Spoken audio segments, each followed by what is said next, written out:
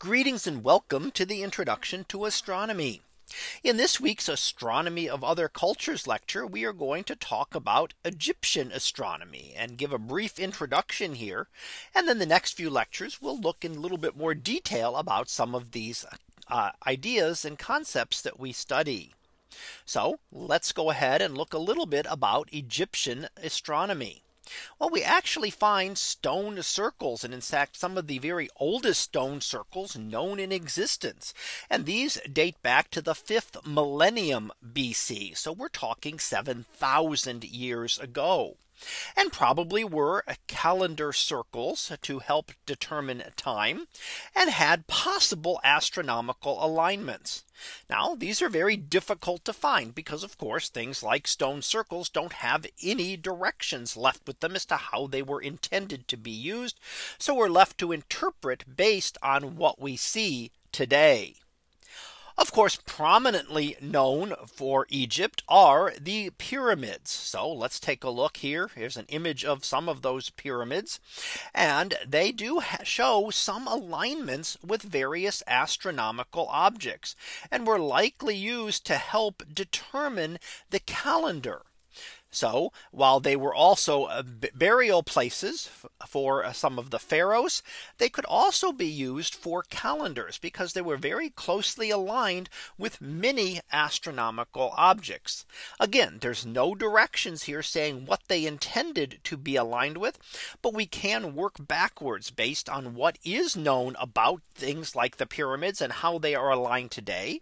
And we can determine what the sky would have looked like back at the time when the pyramids pyramids were being built to really be able to find out a little more and understand how these tie in to astronomy. And then finally, the Egyptians had a very well developed calendar by about the third century BC. So here we see a little bit of one of the calendar recordings that was has been made. They actually did use a 365 day calendar. And it was very important to have the calendar to be able to have things recorded so that you could then determine when certain events were going to occur. One very important one was the flooding of the Nile.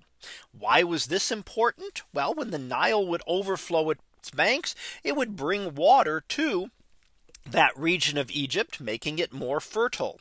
So they were able to tie in the Nile flooding to the very, very earliest rising of Sirius before the sun in the sky the first time it could be seen.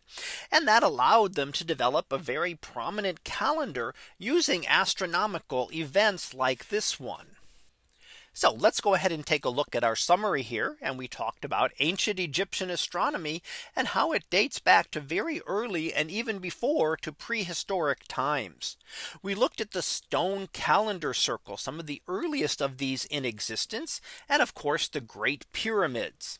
And then finally, we looked at the well developed calendar that was that was made uh, to you that was in use thousands of years ago. So that concludes this lecture on the astronomy of the early Egyptians. We'll be back again next week for another topic on astronomy of other cultures. So until then, have a great day, everyone, and I will see you in class.